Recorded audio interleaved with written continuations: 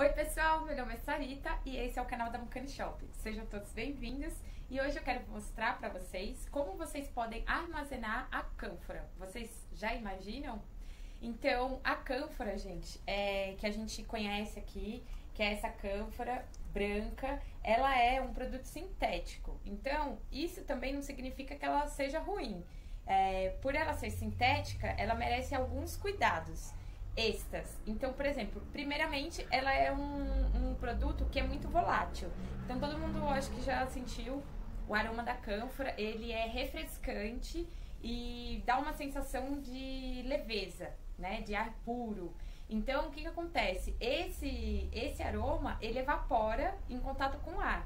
Então, se você deixar muito tempo, assim, aberto, o quando você for usar, as propriedades dele já evaporaram. Então, o melhor de tudo é você armazenar em potes de vidro, né? Eu tenho aqui um potinho reciclável super simples, mas o ideal seria aqueles potes herméticos, que tem aquela borracha que você veda a saída e a entrada de ar.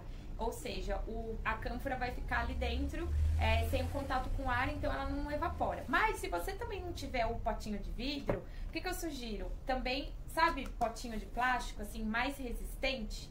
É, então, você pode estar utilizando aquele que você ia jogar fora, sei lá o que, que você ia fazer.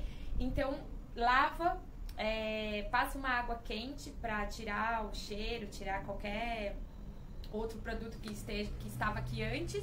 E aí você coloca a cânfora. Então, tem uns potinhos também herméticos de plástico. Então, eu sugiro, de qualquer maneira, a gente envia assim para vocês, nesse plástico aqui bem fino. Então, eu sugiro vocês é, passarem para esse pote de vidro ou qual vocês tiverem aí.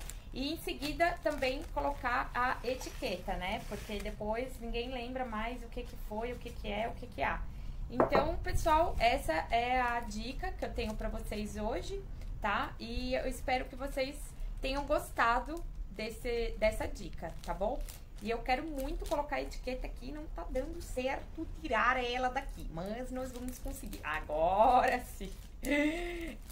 Agora foi. Então, eu gosto sempre de colocar etiqueta em tudo, porque a nossa memória não é eterna. Então aí fica uma coisinha assim bonitinha e quando você precisar usar, você já sabe o que, que tem naquele potinho. Então tá bom, gente. Se vocês gostaram dessa dica, curte, compartilha e se inscreve aqui no canal, gente. Que eu adoro ver a audiência e o que, que vocês comentam. Por favor, deixa aqui para eu responder. Um abração para todos. Gratidão.